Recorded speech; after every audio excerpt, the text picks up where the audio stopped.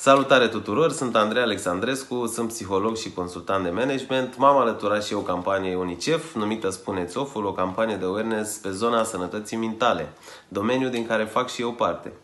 Subiectul meu e legat de munca de acasă, cum au văzut oamenii lucrul ăsta și cum ne dăm seama că ar trebui să facem o schimbare. Munca de acasă e de mult pe piață, nu a apărut chiar acum în pandemie. Pentru unii oameni a venit mănușă, chiar și-au dorit lucrul ăsta, poate unii îl făceau doar 50% din timp și acum au putut să-l facă 100% și a fost perfect. Însă pentru mulți, inclusiv pentru mine și din prisma activității profesionale, nu a fost neapărat un lucru bun. Pentru că mie îmi place, de exemplu, să văd omul carne și oase, îmi place să lucrez direct, îmi place să lucrez cu echipe, iar perioada asta n-a fost cea mai bună pentru așa ceva. Mutatul muncii pe Uh, Zoom și în online a putut crea și a și creat de altfel frustrări pentru foarte mulți oameni, însă cred că problema la care trebuie să ne uităm de fapt și de ce munca de acasă are niște efecte este dată și de pandemie și de incapacitatea noastră de a prezice ce urmează să se întâmple. Practic, noi nu ne mai simțim în siguranță, nu știm ce va fi mâine, peste o lună, peste un an, nu știm dacă ne vom păstra joburile sau dacă persoanele din jurul nostru vor mai fi în viață sau dacă vor fi sănătoase. De asemenea, și în cazul meu, din păcate, am avut uh, în familia extinsă pe cineva care și-a pierdut viața în urma acestui virus. Sunt uh, mulți oameni care au trecut prin uh, situații din acestea de doliu total nefericite în perioada de față, așa că panica se accentuează și din motive cumva clare, pentru care avem dovezi, din păcate.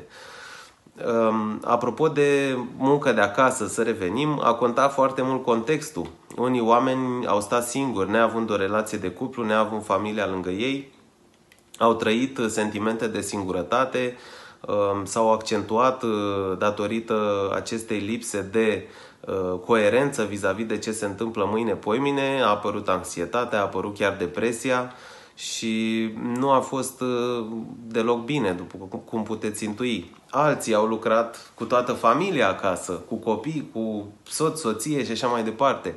Din păcate, nici lucrul ăsta nu e unul bun. Știți foarte bine că se vorbește de echilibru în viață, iar uh, lucrul ăsta de a sta cu familia și de a munci uh, toți la oaltă, pe lângă multe altele, ne poate stârpi și sentimentul ăsta de intimitate. Noi avem nevoie de intimitate, avem nevoie de spațiul nostru și avem nevoie și să împărțim casa de muncă. Iar aici e subiectul 3. Nu prea s-a putut face lucrul ăsta. Ehm, ați văzut probabil și voi și au simțit pe pielea voastră că munca uh, a început la 9 și s-a terminat când s-a terminat uh, de obicei către 11-12 noaptea în ultimele zile. Lucrul ăsta, deși pare ok și la început, uh, în primele săptămâni, poate chiar o lună, două, pare parte din viață, dar pe termen mediu-lung pot apărea simptome din zona burnout-ului, de exemplu, oboseală cronică, probleme de somn și așa mai departe.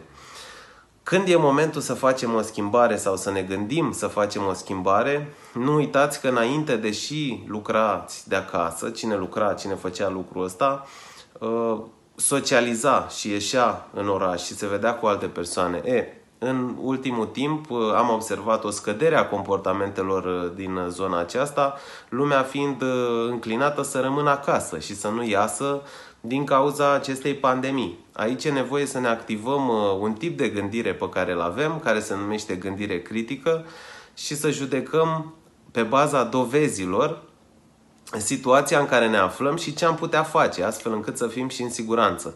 Așa că gândiți-vă ce făceați înainte de pandemie, chiar dacă vă plăcea să lucrați de acasă sau nu, și ce faceți acum. Și vedeți cum vă simțiți, ce v-ați dori să faceți și nu faceți și vedeți din tot tabloul ăsta ce ați putea concret să faceți astfel încât să vă simțiți mai bine și să vă îndepliniți nevoile.